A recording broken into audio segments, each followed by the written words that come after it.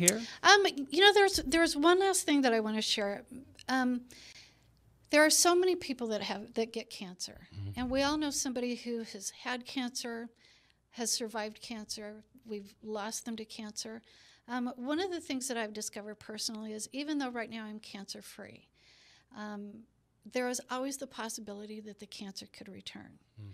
And so there is rarely a week that goes by where I don't have some little pain or headache or, or something where I don't immediately go to the place of, oh my God, what if it's back? And so I discovered that that's the experience of, of every cancer survivor is, oh my God, what if it's back? And so that question was coming up so often that I realized I needed to prepare an answer for that.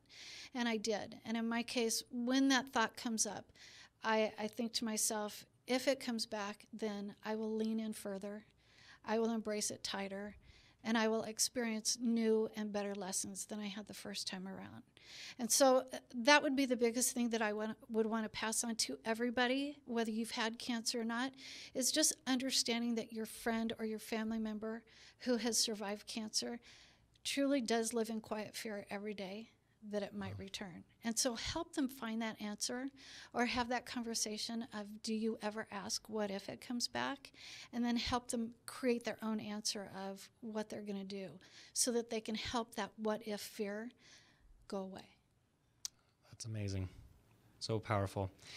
And um, correct me if I'm wrong, but if somebody does is going through the journey, you offer these books? I do. Okay. So it's uh, if, if, someone wants to email me at mm-hmm. it's Jami at thehealthinsurancelady.com. Okay. I will send a free copy. It's a PDF copy. Sure. Otherwise, um, this book is I, I went the cheap route. It's print on demand and it's available on Amazon.com and Amazon's taking over the world, so it's a good place to shop, right? yeah, I love Man, it. that that one click buying purchase power, that's dangerous. And that I'm, I'm, I'm considering starting a 12 step group for Amazon Prime. well, Jami, thank you so much for sharing your story. Uh, thank you for being you. And anybody that is looking for advice or just wants to connect with somebody amazing, please reach out to Jami.